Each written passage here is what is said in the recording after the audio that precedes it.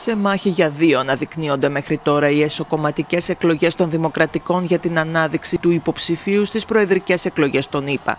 Στο Νιου Χαμσάερ, ο Μπέρνι Σάντερς πέτυχε την πρώτη καθαρή νίκη της διαδικασίας μετά τη χαοτική ψηφοφορία στην πολιτεία της Αϊόβα, με τον Μπιτ Μπούτιτζιτς να ακολουθεί σε μικρή απόσταση.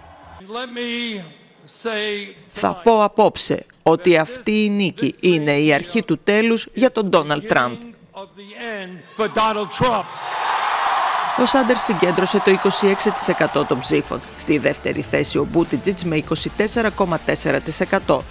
Στα πρόσωπα των δύο αυτών υποψηφίων αναμετρώνται δύο πολύ διαφορετικές πολιτικές στάσεις των δημοκρατικών. Ο Σάντερς εκφράζει την πιο ριζοσπαστική πτέρυγα. Ο Μπούτιτζιτς είναι πιο μετριοπαθής. Αίσθηση προκάλεσε η επίδοση της Amy Globuchar που κατάφερε να αναδειχθεί τρίτη με ποσοστό που αγγίζει το 20%. Νέα απογοήτευση για τον Τζο Μπάιντεν, πρώην φαβορή σύμφωνα με τις δημοσκοπήσεις. Έμεινε στην πέμπτη θέση και πολλοί προδικάζουν ότι σύντομα θα αποσυρθεί από την κούρσα.